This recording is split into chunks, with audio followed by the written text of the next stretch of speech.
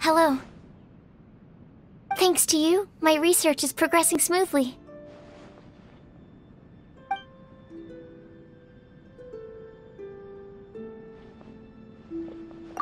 Good morning. P please take care.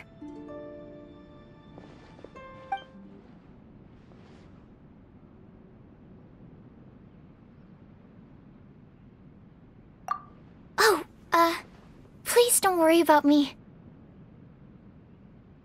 As long as there's a dedicated laboratory, I am more than satisfied. Your home far exceeds my needs. Oh, um, I'd feel guilty to trouble you. But I greatly appreciate your kindness. It means a lot.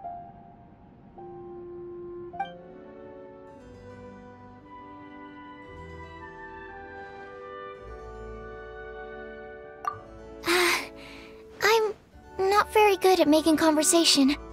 Most of my time I spend alone in the laboratory, researching for many hours at a time. If an experiment doesn't quite go to plan, it can even end up being several days. I don't know much about what goes on in the outside world, or the kinds of things that people like to talk about. And, um, I don't really like to go out and socialize much, even on my days off.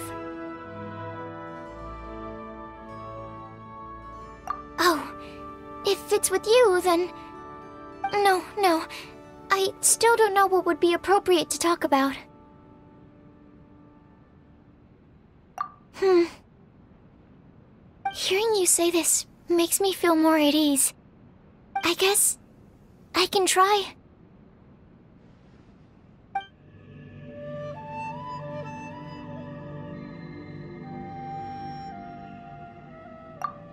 Oh, actually, I have a few small questions I'd like to ask you. Just say the first answer that comes to mind. There are no right or wrong answers. Small lampgrass or windwheel aster?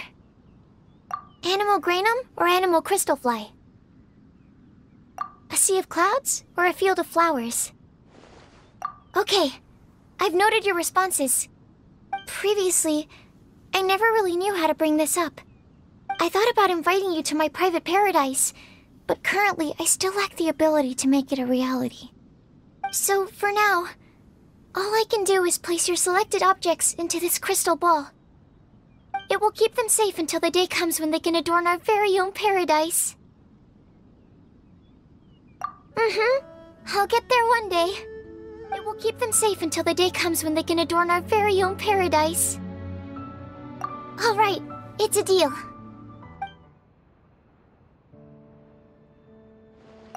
Good night.